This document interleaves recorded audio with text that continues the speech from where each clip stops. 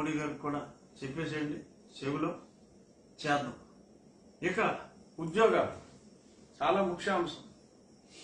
చెప్పాడు అంటే ఏమ్మా చెప్పాడు అంటే చెయ్యడు అంతే. క్వశ్చన్ లేదు అసలు.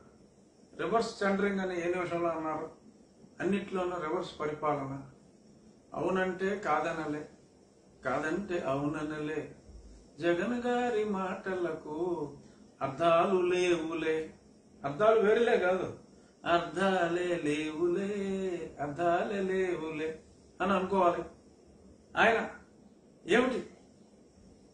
టెంపరీ ఉద్యోగాలు ఏంటి వాళ్ళు చేసేది పని కాదా? వారికి ఒక వేతనం వీరికి ఒక వేతనమా? రెగ్యులరైజ్ చేసి పడేస్తానని చెప్పి చెప్పి ఆల్రెడీ ఒక యాభై వేల ఉద్యోగాలు తీసేశారు. ఇప్పుడు ఇంకో రెండు లక్షల యాభై వేల ఉద్యోగాలకి ఎసరు వారుస్తున్నారు. కొన్ని కొన్ని రిపోర్ట్లు కావాలని చెప్పి పొయ్యలిగించారు. సో వాళ్ళందరినీ కూడా తీసేస్తారు. ఎందుకంటే జీతాలు ఇవ్వడానికి డబ్బులు లేవు. ఐదో తారీఖు వచ్చింది. మంత్రులకు డబ్బులు లేవు. మాస్టర్లకు ఇవ్వట్లా. రేపు సత్యబాబు గారు చెప్తారు. జీతాలు ఇవ్వద్దని వాళ్ళే చెప్పారు. ఎందుకంటే ఏ మమ్మల్ని విధుల నుంచి తీసేయని టీచర్లు అడిగారట. టీచర్లు చాలా అడిగారు కదా సత్యబాబు.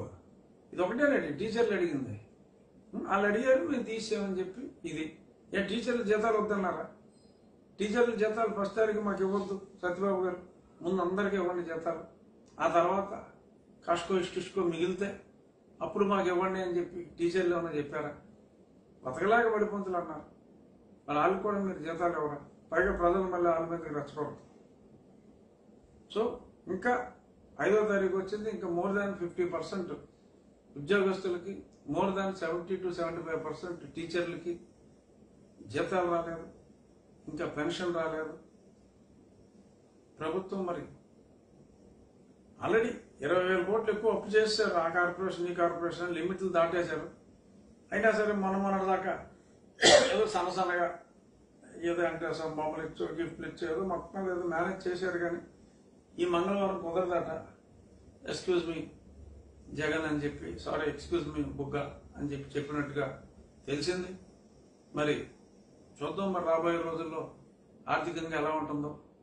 ఇది ఈ ఉద్యోగాలు రేపు మాపు తీసేస్తారు. మరి ఆ పనులు ఎలా చేయిస్తారు? ఆ పనులు కూడా నాకు నా ఛాయం చూసి బాగా కష్టపడి పదవ క్లాస్ చదువుకున్న వాళ్ళందరికీ మా పార్టీ కార్యకర్తలందరికీ నేను వాలంటీర్ ఉద్యోగం ఇచ్చాను.